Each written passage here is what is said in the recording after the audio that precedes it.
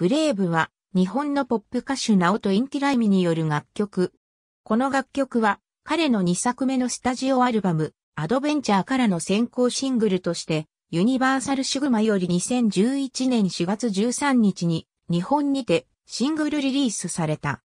楽曲はインティライミとシカタによって制作されており、さらにシカタはプロデューサーとしてもクレジットされている。音楽性的にこの楽曲はヒップホップの要素を持つポップソングであり、加えてオートチューンがフィーチャーされている。一方、歌詞は勇気や希望を紡いだ内容となっている。ブレイブは音楽評論家から肯定的評価を受け、批評からは特に彼のボーカルパフォーマンスに高い評価を与えている。楽曲は商業的にも成功を収め、日本のリアッチ有料音楽配信チャートで最高位5位、日本レコード協会からはゴールドシングルの認定を受けている。付随する楽曲のミュージックビデオは森悟が監督を務めた。ビデオは長い陸上競技場で撮影され、無観客状態にある競技場内の複数箇所にて、彼が楽曲を歌う内容となっている。加えて、ブレイブは、インティライミのコンサートツアー、 Tour 2011 Adventure ジは、ナオト大航海時代のほか、プロバスケットボールチーム仙台89ERS の2011年のホーム開幕戦ハーフタイムショーでもライブパフォーマンスされている。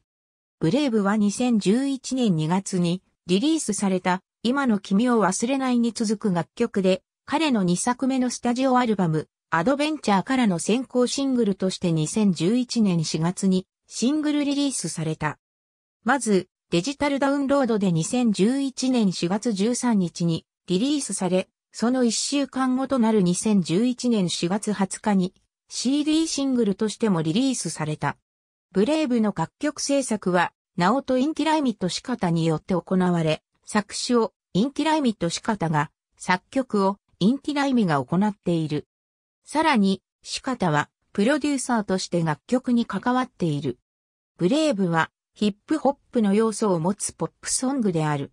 ホットエクスプレスのライター菅野祐希はこの楽曲をミドルチューン、リッスンジャパンはスタンダードなポップナンバーと呼んでいる。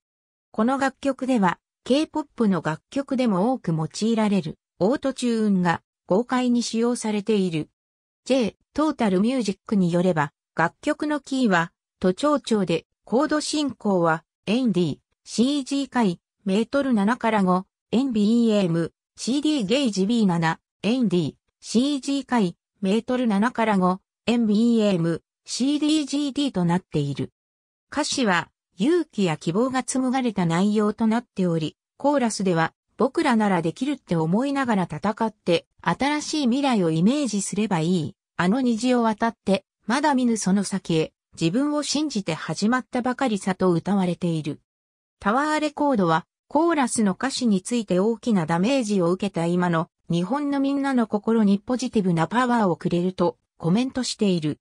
音楽評論家はこの楽曲 Brave におおむね肯定的な評価を与えている。リッスンジャパンは、 Brave について、その完成度は高い。とコメントした。ホットエクスプレスのレビュアー、菅野祐希は、彼の真骨頂とも言える、前向きなメッセージがこれでもかと詰め込まれた、ミドルチューンと批評した。さらに、ブレイブでのインテライミのボーカルパフォーマンスについても、言及し、次のようにコメントした、優しくも魂あふれる彼の歌声は、不安で沈みがちな気持ちを一掃してくれるとともに、じんわりと心に染み渡っていく。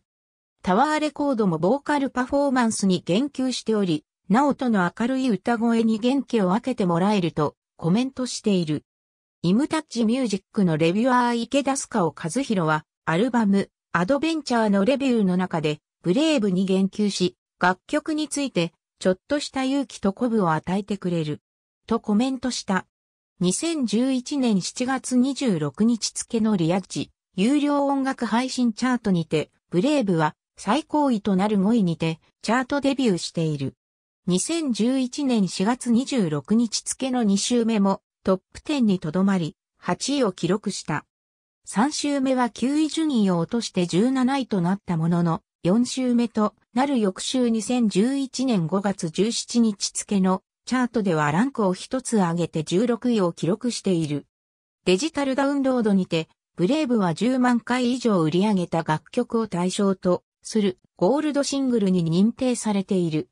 一方、フィジカルチャートである日本のオリコンシングルチャートでは CD シングルの発売初週に3931枚を売り上げ、最高位13位を記録。同チャートには5週にわたってランクインした。ミュージックビデオの撮影が行われた日本の大阪府大阪市東住吉区にある長井陸上競技場。実際のビデオでは競技場は無観客の状態で撮影されている。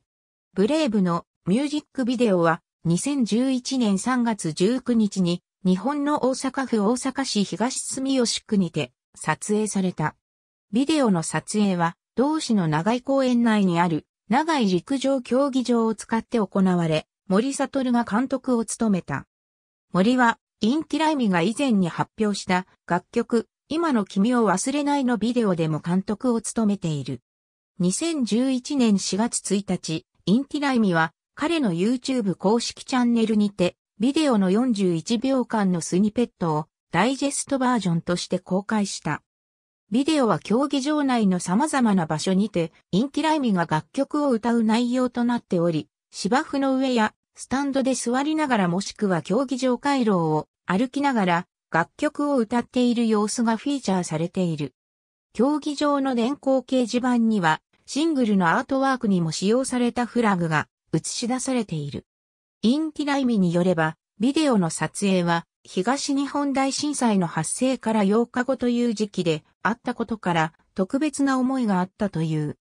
彼は公式ブログの中で撮影に臨んでの思いについて、真も戸惑いを感じながら、しかし、この歌の歌詞に気持ちを入れることで、自分自身を奮い立たせながらね、とその心境を語っている。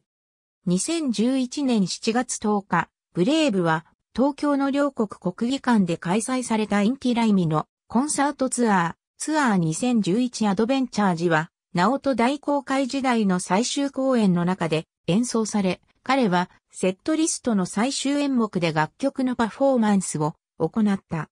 2011年10月3日、プロバスケットボールリーグ BJ リーグに所属する仙台89ERS の2011の2012シーズンのオフィシャルサポートソングに Brave が決定したことが発表された。さらに、仙台のホーム開幕戦となる同年10月29日、約5000人の観客が収容された試合のハーフタイムにインティライミはライブパフォーマンスを行うこととなり、彼は楽曲を披露している。ブレイブちょっとした恋の歌ブレイブ。ありがとうございます。